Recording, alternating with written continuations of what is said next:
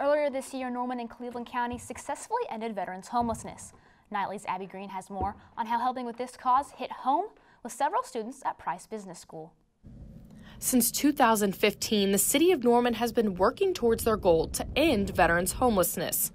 Last February, not only did they meet their goal, but the city also became the first community in Oklahoma to achieve it. But it doesn't stop there. Several Oklahomans across the state are still facing homelessness each day. After seeing how their Norman community made an impact on the cause, a group of students at Price called the Cozy Okies were inspired to help as well.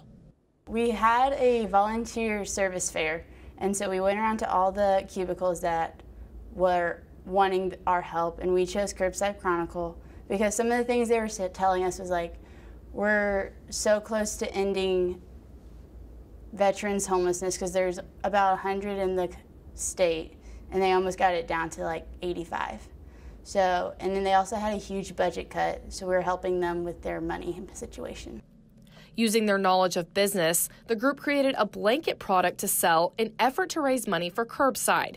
The Curbside Chronicle employs people experiencing homelessness to sell magazines so they can hopefully move into housing.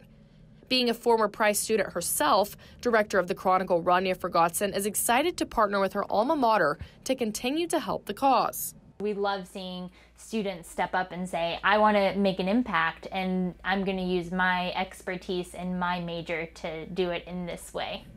Last year, the organization was able to help 41 people in their homelessness through magazine sales.